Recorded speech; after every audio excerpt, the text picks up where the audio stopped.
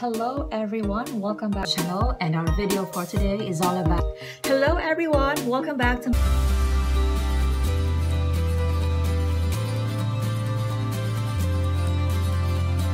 Sweetheart, Miss Universe doesn't have height requirements. You can be any height you want to be and be a Miss Universe.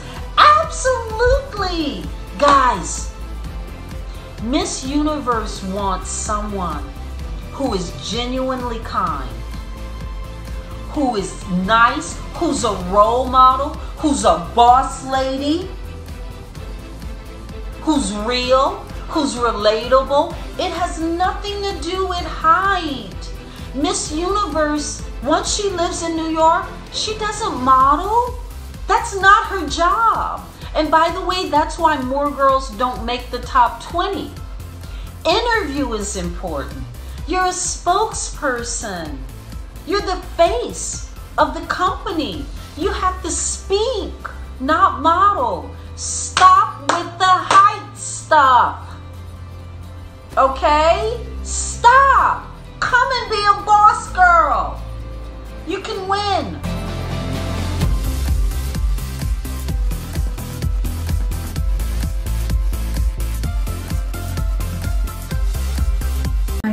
Humbled to be Australia's delegate in the Miss Universe competition this year and as part of that it means I have the opportunity to work for causes that I believe in. It's Wednesday in Australia but it's Tuesday somewhere in the world and it's Giving Day. Today is a day that we celebrate uniting in a worldwide act of generosity. It's not necessarily a monetary donation, it might not be a financial contribution if that's not within your means but when we talk about giving and Giving Day it's generosity beyond financial means. So in a year where we have been challenged, I think it's so important to be supporting organizations and people and initiatives that are thinking about creative ways that we can unite and still create safe, warm spaces for people to grow and thrive, especially those who are most vulnerable in our community. So I'm Maria Thattil, I'm Miss Universe Australia. Today and every day, I encourage you to remember my mum's words, every single act of generosity counts.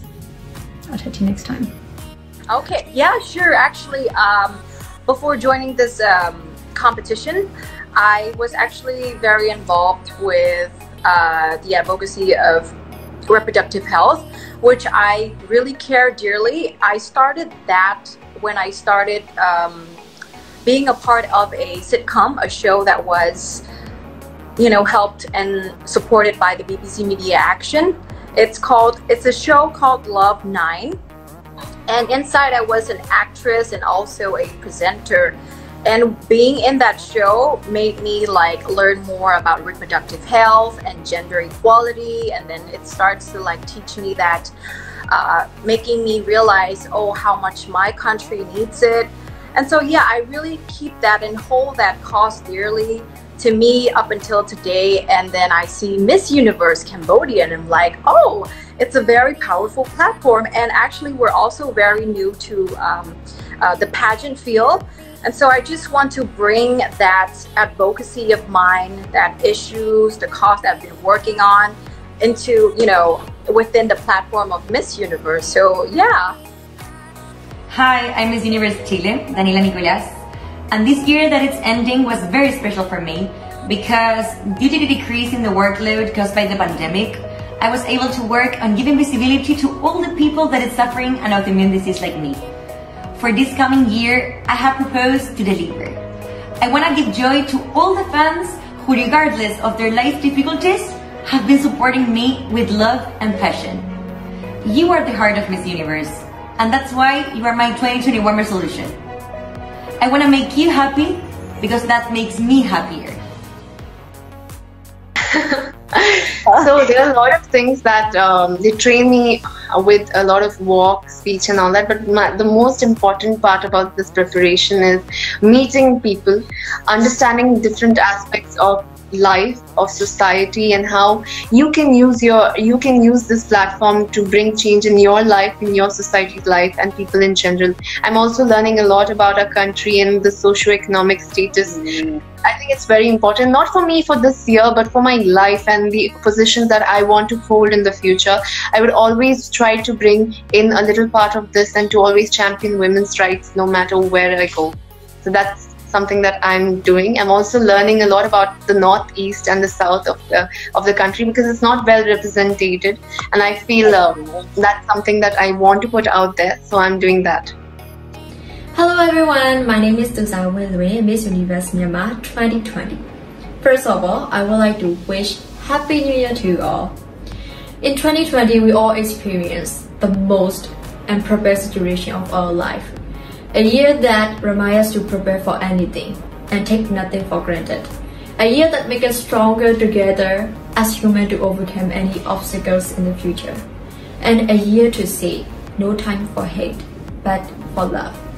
အားလုံးပဲနှစ်သက်ပါစိတ်ချမ်းသာကိုကျန်းမာကြပါစေလို့သူစားဆုတောင်းပေးလိုက်ပါတယ်ရှင် I want other kids to realize that for those who are privileged enough I realized to struggle in life. And I saw education as a gate pass to success. And I am hoping that each and every student would have that same mindset.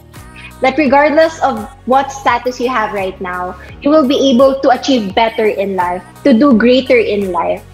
And education would bring would give you the right weapon to conquer life.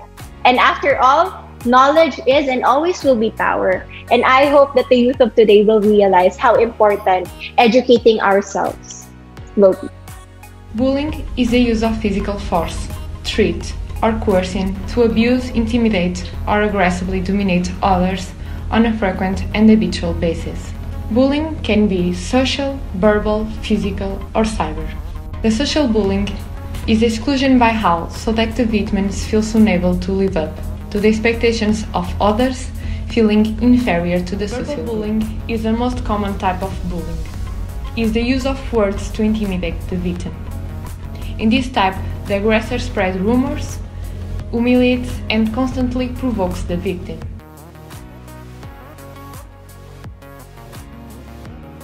I know that if you're if you win the Miss Universe title, then you fly to another country, you fly to New York and you live your life there for an entire year, I would say the most obvious and glaring answer would be I would lose connection with my family for a little bit because right now I'm living with my family. So that would be the biggest loss. But in saying that, I think it's also the free time because the nature of my work is I have a lot of waiting around. Uh, I actually work in uh, commercials, I do TV commercials, I do print ads. So whenever you're going for your casting, you gotta wait for the clients to get back to you to see whether you're gonna get the job or not. And then once you get the job and you're on set. So I think once you assume the role of Miss Universe, there's no more waiting. So there's no more free time whatsoever. There's just gonna be boom, boom, interviews doing this and and you know highlight reels and whatever there's just too much of that and so I think that would be the biggest thing. Embarrassed knowing that I don't feel confident enough to film my video without any base on and contour and highlight and blush and I just thought myself like you are gonna film this video without a base on and you are gonna show people that you know, I also have insecurities and I also need to learn how to embrace them. And to every single girl out there that, you know, wears no makeup on a daily basis, I take my hat off to you because I always felt like if I don't wear a full face of makeup, I don't look my best and feel my best according to myself. And I just reminded myself that I'm a lot more than that and then the foundation on my skin. So I'm going to embrace my flaws and if anyone else there is looking at this, I hope that you learn how to embrace your flaws as well. Um, because at the end of the day, it could have been a lot worse. And if you have skin that's not even that bad, just, you know, flaunt it and work with it. As Miss Universe Thailand, I really want to advocate on the cause that I really believe in, and that is mental health. because in Thailand, I feel like mental health is not yet well understood. And I want to be the voice to tell people that mental health is just normal. It's like catching a cold. And I want people to be more informed of the different illnesses. And that's why I came up with my advocacy, which is called Have You Listened? Because I feel like we live in a society where nobody's really listening to one another. And I want to change that. I want people to start listening more. Listen with the focus of really understanding, not just to reply. In light of recent and past events that have occurred in our nation, we know that racism is a hot topic right now. And racism is experienced so often, and not just by the people that you see fighting for their lives on the news. But I was given the slightest glimmer of hope this morning as I get on Facebook to see so many people not of color speaking up and speaking out for people of color. And to, to see these people no longer being silent and compliant has truly opened my heart and warmed it so much to know that we, it may be a small step, but it's still a small step in the right direction. And it gives me hope to know that one day that our voices will have made a difference and that hopefully we will see true equality within our nation. So I'll say, it's going to take a continuous effort from us all to truly see change. But I hope that one of these days that we'll be able to see each other through God's lens and to know that we are all each of his perfect creations. He loves us all so much, so why can't we love each other?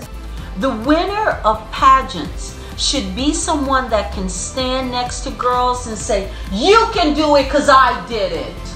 Don't you let anyone tell you you're not uniquely and specially made. If anyone deserves it, you deserve it. And you go out there and you think you deserve it. That's your mantra.